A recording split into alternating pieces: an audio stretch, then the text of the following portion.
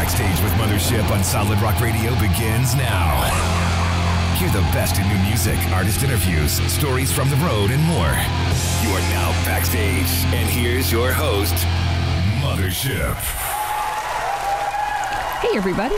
Rockfest Records just signed the band AsFireFalls out of Boise, Idaho to their label. Vocalist Kris Lindstrom is my guest today on Backstage with Mothership. I have Kris Lindstrom of AsFireFalls. How you doing? Hi. I'm doing good. How are you doing? Doing great. I saw on social media that you guys just got signed to Rockfest Records, so I had to find out more. How did that happen? Yeah, I don't know. Kind of a funny story, I guess.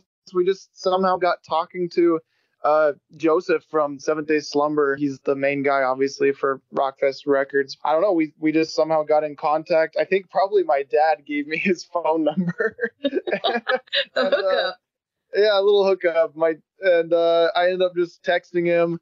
I was like, "Hey Joe, you know, it's, uh, you don't know me, but it's me."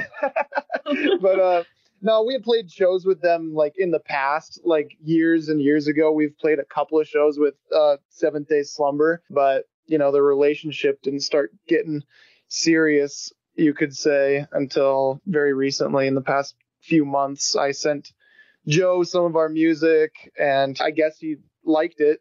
well, we hope so. We, yeah, we hope so. But uh, yeah, he ended up liking it, and I don't know, things just kind of went from there. That's awesome. Now you're in Idaho. Yeah, we're from Boise, Idaho. Yep. I don't know what's in Boise, Idaho, except for you. Well, we have a little bit of everything in in Idaho. There's uh there's like desert, there's mountains, there's rivers, there's snow, there's heat. You know, we got we got pretty much everything. A little something for everyone. I'm in Georgia. We've got a little bit of that too. We don't have a desert though. I don't think we got swamp. That's what we're missing. We're missing the swamp here. That's it. Okay, so you have you have the desert. We have the swamp. Yeah, there you go. So I'm assuming you don't have any gators. No gators, no. I've heard that gators like uh, taste good. Is that true?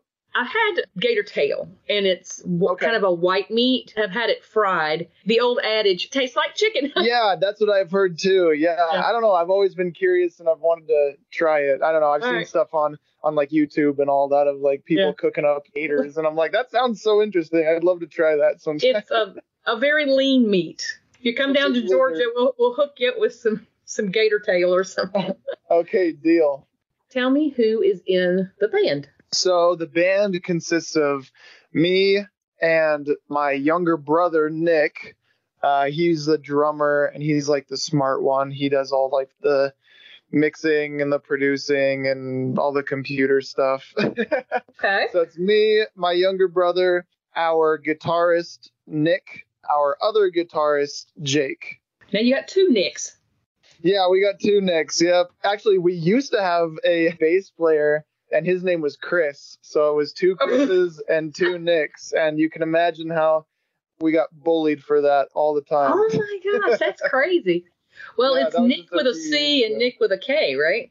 Yeah, exactly. Nick with a C, Nick with a K, and then it was Chris with a K, which was me, and then it was Chris with a C. So it was pretty funny, but yeah. Now, tell me a little bit about your timeline. I know y'all started around 2011. Yeah, so how old am I? I'm 27 now. We started playing music like in a band when I was like I mean like 14, 15, you know, like you get started really young and in the parents' garage and all that and me and my younger brother who was like 9 or 10 at the time we were playing in bands together just doing our thing, you know, taking it as seriously as 14, 15 year olds can take it. You know what I mean? Oh yeah. Well, you're um, real serious when you're that old. You, you think you are. Yeah, right? exactly. Yep. yeah. but anyways, we just kept we just kept sticking with it and doing our thing, and we kind of ended up taking it more seriously around the time when I graduated high school, which was 2013, 2014 ish. Um, so my younger brother was still in high school but we were getting like tour offers and we were we were going out on the road. And so we were like nick you know my younger brother i was like nick we're pulling you out of high school for a bit. Like we need to hit the road for like a couple of weeks. So that's what we did. And yeah and so he would have to you know study quote unquote on the road. And then he would come back and you know, not know what to do for high school. But so yeah, we had to pull him out of high school a couple of times uh, just to play some shows every once in a while. Was he able to finish? He mind at all. Yeah, was, he was able to finish high school. Yeah, he was good. I was just thinking about J.R. Bareis, who was 15 when Brian Head Welch took him on the road. Now he plays with Korn sometimes, so you know, I guess it was okay, right? Yeah. Oh yeah. I, I've been following J.R. for a long time too. Have you really?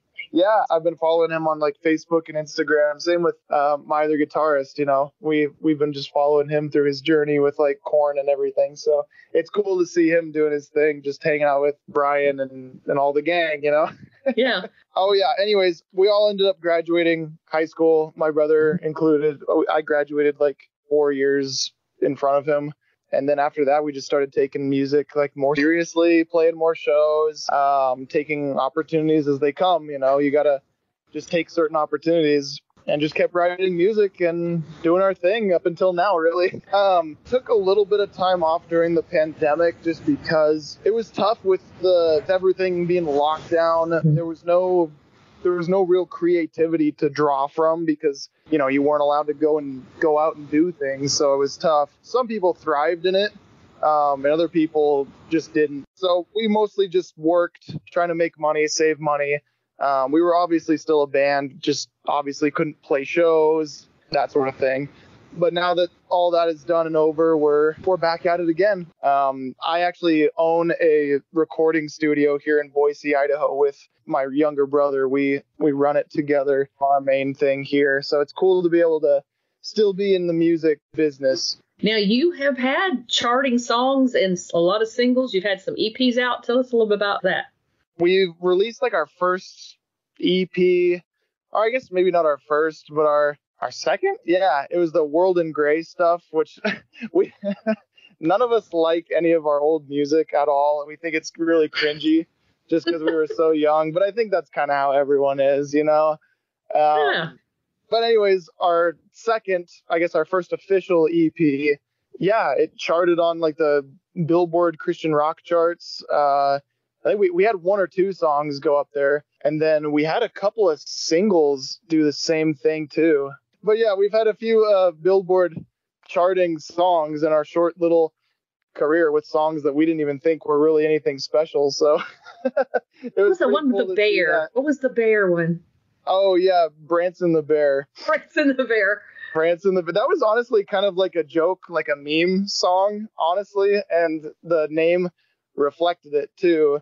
I don't know. It was just kind of silly. We are like, what if we just named it this? Because we always have working titles, you know, for songs when we don't know what to call them.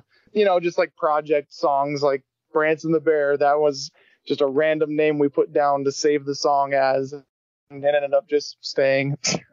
Very creative. but um, yeah, so we released that World in Gray long time ago, and then we did like some singles, I believe, and then we did the Never Needed You EP, which was six ish songs and then or like five or six maybe. Uh, and then we released a few more singles. Yeah, and now we're just kind of here. where did you feel like maybe you were hitting where you wanted to hit at, at the Never Needed You 2017? I would say those songs were good. Yeah, we liked those at the time. Um, I think that our singles after that were when we were really hitting our stride with things okay. like uh, Blame was a good one. Uh, I think that one actually charted too. Um, Transcendence, I think, is still one of our favorite songs for sure. We really like that single. And then, um, what's the newest one called? Out of Line. We think that one's pretty good too. so you're starting to get happy where you are. Yeah. Mm-hmm.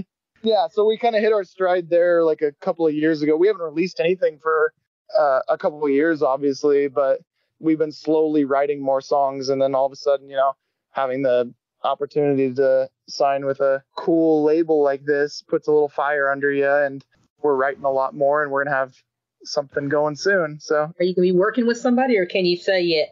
We're not working with anyone in particular. No, it's it's just us right now. We might think about asking to see if we can get like some producer to help a little bit, but I mean for now we're just doing it all in house and uh, we're actually really excited because these songs are very, very good. These are definitely our best songs to date. The listening to Backstage with Mothership on Solid Rock Radio. Backstage with Mothership returns after this. Outperformance Shop is a proud supporter of Solid Rock Radio.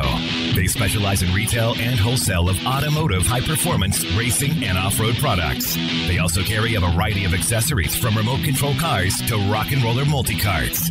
On the web at outperformance.com. What kind of artists were your influences when you were younger and even now? Uh, we all have listened to different styles of music and different different artists all together. Really, like I mean, I grew up with like Skillet and Red, obviously, like the the metal stuff. Uh, my guitarist would tell you he used to listen to Disturbed a Mm-hmm. lot.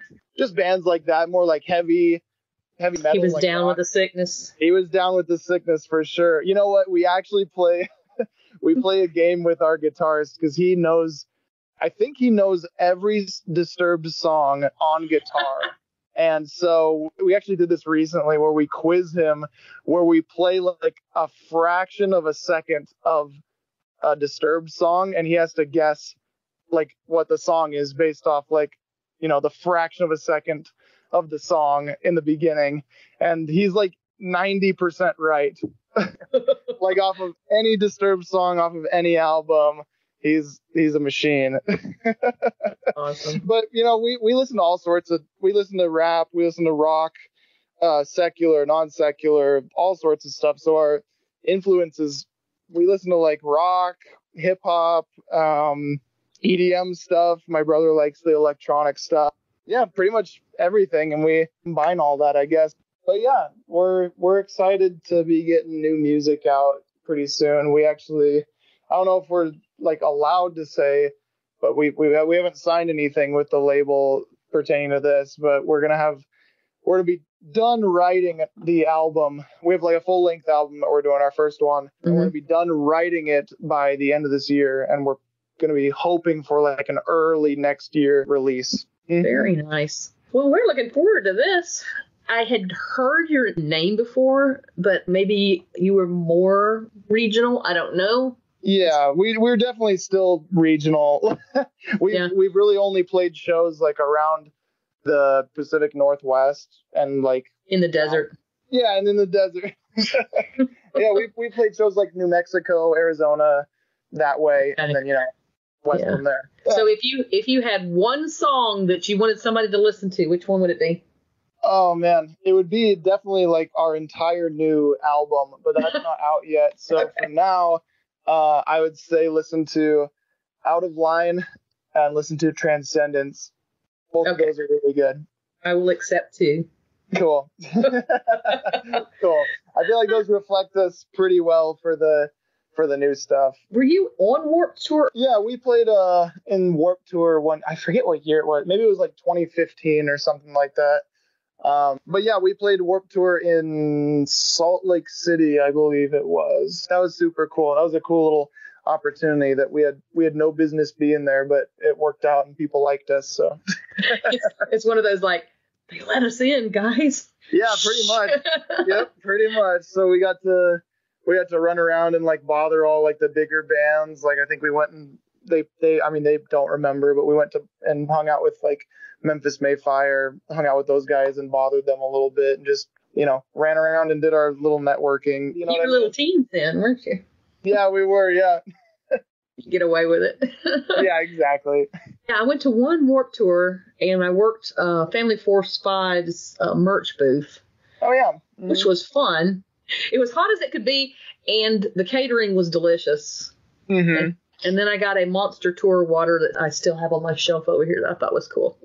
Oh yeah, the tour waters. Yep, I remember those. They would be like little cans. It looks like Monster, but then if you look at it, it says it's water. Yep, that that was like genius marketing for. Oh, I know. Energy. Yeah. Brilliant. Like, but honestly, it's like, do you really believe that these artists up here are like chugging energy drinks while they're performing? Like, there's no way.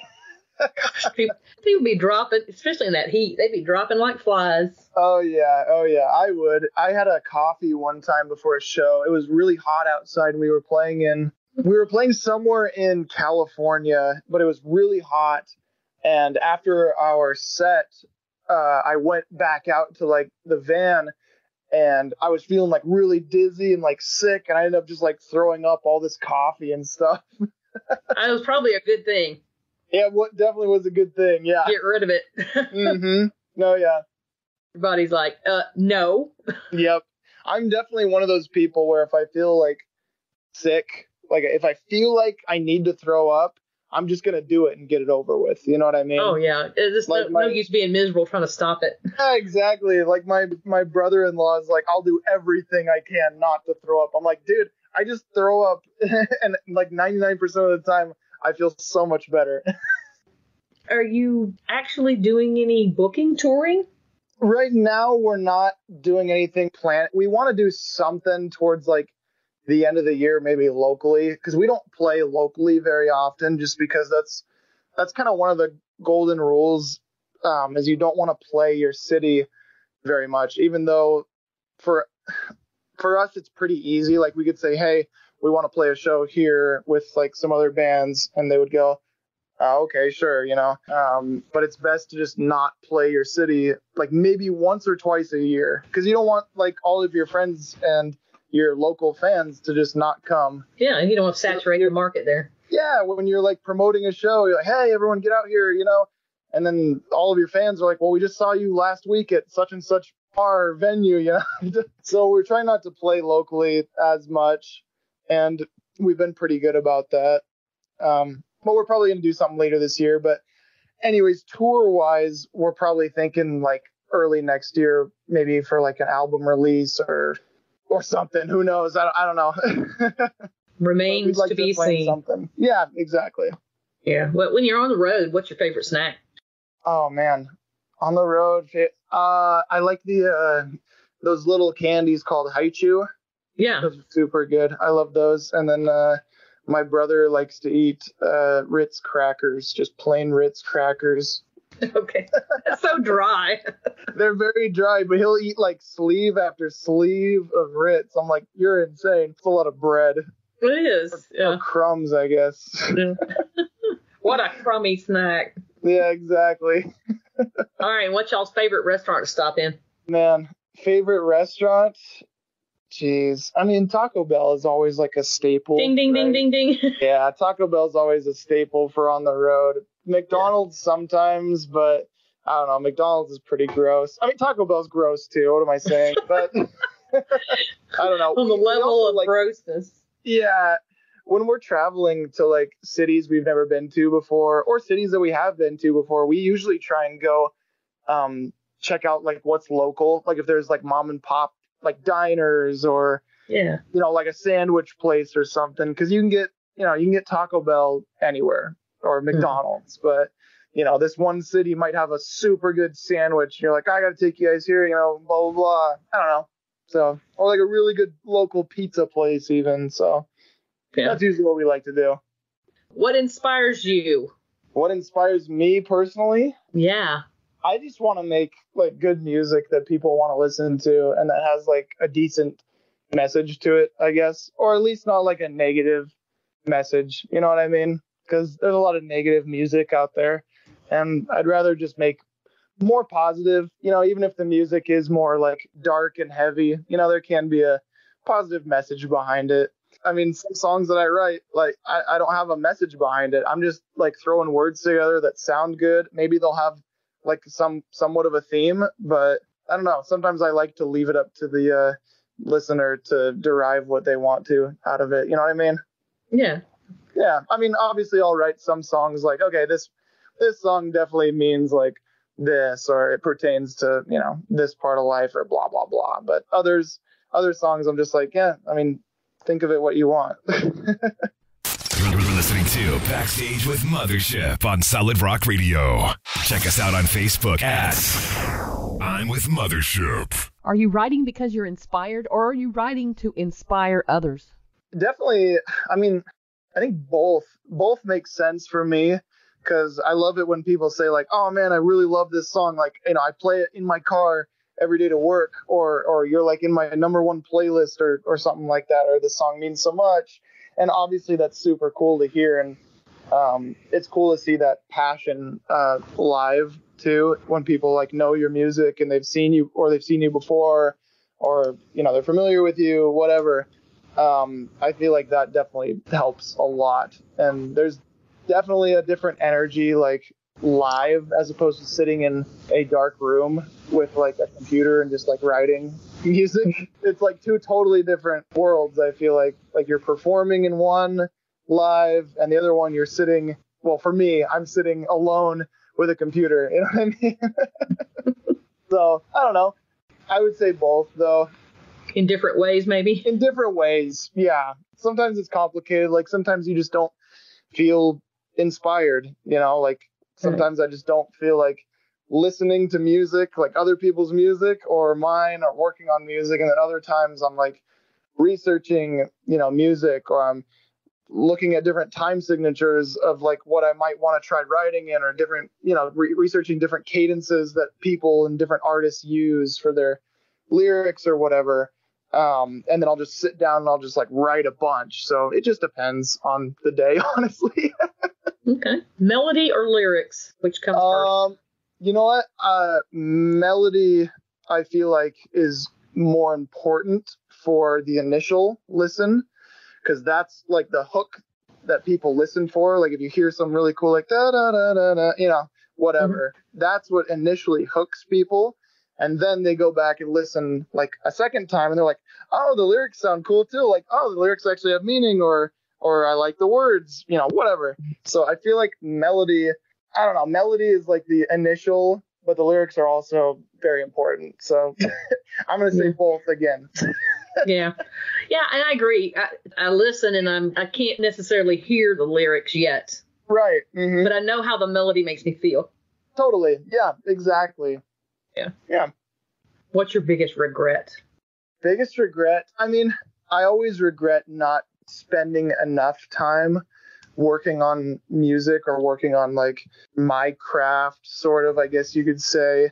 Um, but maybe that's just me being like, I could always do more. Right. Other than that, geez, I don't know how personal I want to get, but okay, we can leave it at I that. Mean, there's a lot. we all regret things, right? Yeah, that's but true. Music wise, I don't know. We we could have done a lot more during like the pandemic and taken it a lot more seriously, uh, band wise, music wise, that sort of thing. But it was just tough because we were unable to draw from any inspiration or you know there wasn't really a light at the end of the tunnel for a, a long time music wise because they were like eh, you know until further notice you got to sit down and shut up basically. Yeah. Yeah i don't know. I feel like um it's good for us though i feel like maybe the break was nice and it put things into perspective for us like okay mm-hmm. we we all kind of sat down during that time and go okay like is the is this music thing and is this band thing just going to be a a hobby for us um, mm-hmm. are we just going to do it for fun, which obviously we are doing it for fun, but you know what I mean? Do we want right. to take it really seriously? Do we want to make this a career if we can, blah, blah, blah. And back then we were like, yeah, like let's just go for it. Let's just keep going and see what happens. And now that we're at this point, we're like, okay, yeah, we really need to keep going now. Like, starting to get excited. Yeah, we're we're definitely way more excited now, and mm-hmm. um, very much more inspired with the music writing process, just getting ready for more shows. I mean, I think playing shows is the most fun part about being in a band. I mean, that's what everyone thinks about what, with being in a band, you know. You think about performing in front of hundreds or thousands of people, you know, that's like the dream. So, mm-hmm. yeah, yeah. Get, the, get all that out of your system. Yeah, exactly. That's what you're called to do, right? so far, yeah, until until we feel like it's not time for us anymore, yeah, we're just gonna keep going. Faith based versus general market. Yeah, it's like secular market, and then there's like the Christian market. Like that's what it is, and I feel like we've been good about being in both. Obviously, we love doing like uh, Christian festivals. I mean, we've played at Joshua Fest and Creation Fest, and you know other festivals around like the Pacific Northwest area and we love those. Those are super cool. But we also love playing like Warp Tour, and we love playing like other secular festivals and playing with other bands. Um, as far as writing goes, I've never actually really written like Christianese songs. You know what I mean? Right. Um, I've always just thought that there can be good music without dark or divisive connotations to the lyrics. You know what I mean? Right. And I think it definitely matters where the lyrics come from too. Like where you are in life, you write a song and you're really sad. You know, the lyrics are gonna reflect that. Yeah, exactly. Um so I don't know. I've never written really like quote unquote Christian music or or Christian lyrics, even though, you know, I, I used to be I was a worship leader at our church for 12 years and I, you know, I led worship like almost every Sunday. But the band was kind of like my outlet for positive message for for people. You know what I mean? Does that make sense? Right. That makes sense. So Yeah.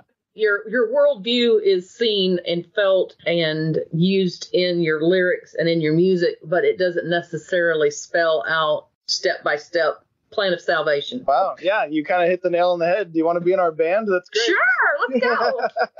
you hit the nail on the head. I'll have to write that down for other interviews or whatever. yeah, no, I totally, I totally think you hit the nail on the head. Honestly, that's that's great. There's a lot of arguing back and forth about whether or not there's uh, the message has to be very very clear but Mhm. there's also opportunity in telling parables as well Yeah, totally. Oh, I totally agree with that. And like I said earlier, like sometimes for for certain songs, I like um, to just let the listener derive what they want from the song or take whatever meaning they want from it. Because I mean, at the end of the day, like I'm not the one listening to it. Like I'm making this music for other people to listen to, and they can listen to it how they want. Really, you know what I mean? Yeah. whether you planned it that way or not they're still going to listen to it from their worldview Yeah, exactly. and their Totally. experience Totally, hundred percent. Yeah, I can't make you listen to it to our music from a certain perspective, right and and no band or artist really can. I mean, if you want the the lyrics to come off a certain way, obviously you can write the lyrics in that way. But um, yeah, Yeah. exactly what you said. You can't make them listen to it from your perspective. And Yeah. as far as people saying like, oh, you have to have a message to the song, or there's got to be you know strict guidelines for being a Christian band or a non-Christian band, blah blah. blah. It's like I don't know. But I think people can kind of do what they want in that regard. oh yeah, i think musicians they're called to different things yeah, totally agree with that. Everyone comes from a different place in life, you know. And I've always said and, and thought that like you really can't compare yourself to other people. Everyone's in a different spot in life. Even if you're the same age as someone, you know, you got totally different backgrounds. I'm sure. right and if we interviewed Kris 10 years ago and 10 years from now you're going to be different I, I would hope so. Yeah. exactly i'm yeah, saying exactly. Mm-hmm. let people have room to grow let people have room to let the lord guide them Yeah, hundred percent. Totally. Yeah. All right so Kris what's Mhm. one thing you would do if you knew you wouldn't fail Oh man, if I knew I wouldn't fail, I I mean I'd probably do like more of the stock market to be honest. I'd I'd be done with the band. I'd just be full time stock market guy. well see then you could fund your albums oh yeah, that's true. Okay, I'm back in the band. okay good All right, cool. so you'd uh, do the stock market you'd invest in your production company and uh, you would uh, help other bands get started and leave a legacy right Oh sure, yeah, we'll go with that. Sounds good. i got a plan for you man okay, you're my new manager for oh, life. Oh, okay i'm in the band and i am your new manager Yeah, man, that this was a good interview for you, i know it i'm going places baby right? that's funny. Before we go, last words. we're writing our first full length album right now, and it's going to be out through um, Rockfest Records, and that's going to probably, hopefully, be out early next year. We're writing it right now, we're recording right now, and I think it's going to be some of the best rock slash metal music that's out there. Honestly, all right well i believe it thank you. let's do it cool. all right well thanks for doing this with me i hope to see you on the road one day Thanks again. I really appreciate it. wonderful good night Cool. Thank you. Thank you for listening. Stay tuned for more great music and check out my blog page on the Solid Rock Radio website for my guests' social media links. If you've missed any of my past interviews, you can find them uploaded to podcast.solidrockradio.org. Have a wonderful week and let's be kind to one another.